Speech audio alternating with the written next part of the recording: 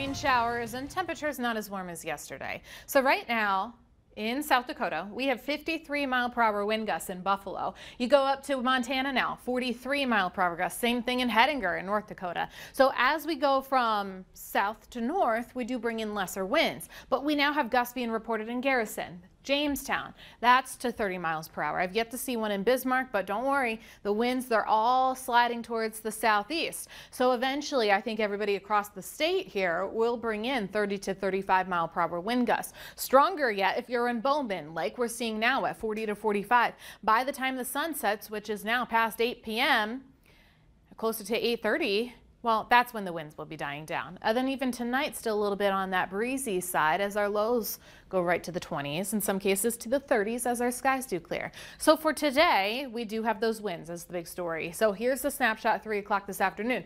Again, we hone in in the southwest, strongest of the winds. We go up towards the north, like Highway 2, 30 mile per hour wind gust. So there's really no escaping that, just not quite as strong as we go off towards the Fargo-Moorhead area.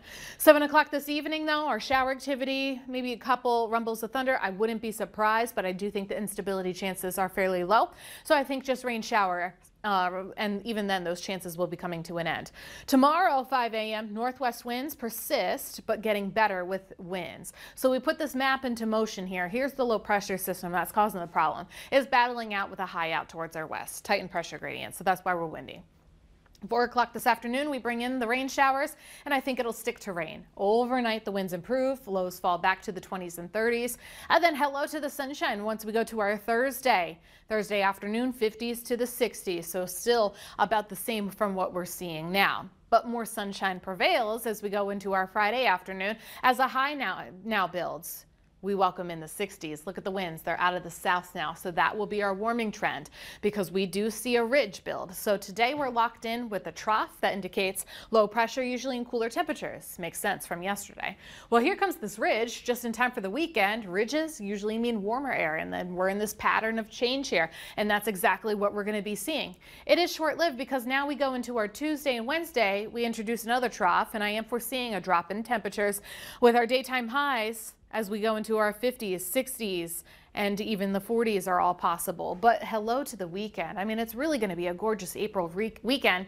A little bit cooler yet on Sunday, but as far as the eye can see here, Krista, we are looking at still maybe a little bit of a wind on Thursday, but once we go to Friday, Saturday, Sunday, a wonderful 72 hours. Afterwards, we do build in rain chances, cooler temps. All right, good news for the weekend. We just got to get through the wind and a little bit of rain today. And protect your uh, skin, of course. Wear some sunscreen. That's that right. Is a strong that sun, sun is getting nowadays. strong.